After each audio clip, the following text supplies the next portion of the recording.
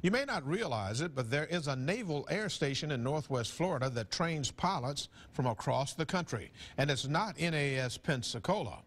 News 5's Allison Spann gives us a rare behind-the-scenes look at the annual Fleet Fly-In at Whiting Field. Located just a few minutes from Pensacola, Naval Air Station Whiting Field is the training ground for every single helicopter pilot in the United States Navy, Marine Corps, and Coast Guard. 100% of every helicopter pilot in the Navy, Marine Corps, and Coast Guard ever is built right here. They showed us around some of their training facilities. This is what they call the T6 Bravo Prop Flight Simulator. It's used as the primary flight training for Navy and Marine Corps pilots. It's been good training.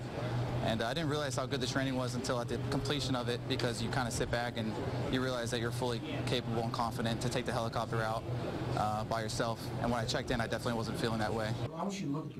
What you're seeing now is video I shot in the pitch dark through infrared goggles. They use these to train their pilots to fly in the dark.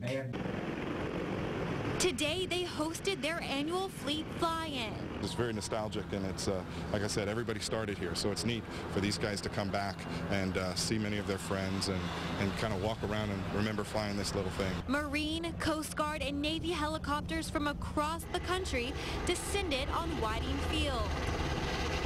This day gives flight students the chance to fly in the fleet and make their final decisions about which aircraft they want to fly.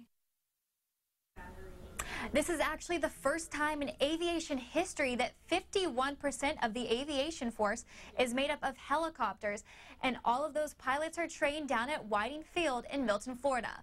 Live in the newsroom, Allison Spann, News 5.